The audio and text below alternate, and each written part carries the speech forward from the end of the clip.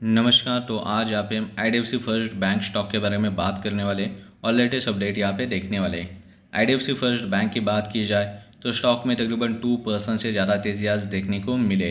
Importantly आप लोग नज़र डालोगे तो काफ़ी बढ़िया मूव आती हुई दिखाई दे रहे हैं आई फ़र्स्ट बैंक के अंदर।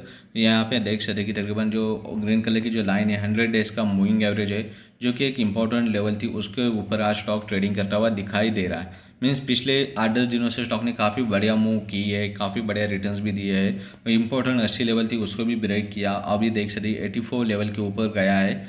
तो आने वाले समय में देख सकते कि एटी हंड्रेड डेज़ का मूविंग एवरेज के ऊपर क्लोजिंग देगा। तो ये जो ब्लू कलर की लाइन है, जो कि 200 डेज़ की मूविंग 200 डेज़ की मूविंग एवरेज है, वो भी एक इंपॉर्टेंट रेजिस्टेंस एक्ट हो जाएगा। जब ये तीनों मूविंग एवरेज के ऊपर स्टॉक जाएगा तो और एक अच्छी मूव देखने को मिल सकती है आने वाले समय में ऊपर की तरफ़। टू टू थ्री परसेंटेज की तेज़ी और भी देखने को मिलेगी। मीन्स यहाँ पे तेज़ी तो आ जाएगी। रिसेंटली न्यूज़ तो कोई खास नज़र नहीं आ रहे। सिर्फ़ इंपॉर्टेंटली जो चाहिए स्टॉक के अंदर, वो है वॉल्यूम्स अगर वॉल्यूम्स अच्छे खासे आते हैं स्टॉक के अंदर तो और अच्छी स्ट्रॉन्ग मोमेंटम जनरेट हो सकती है।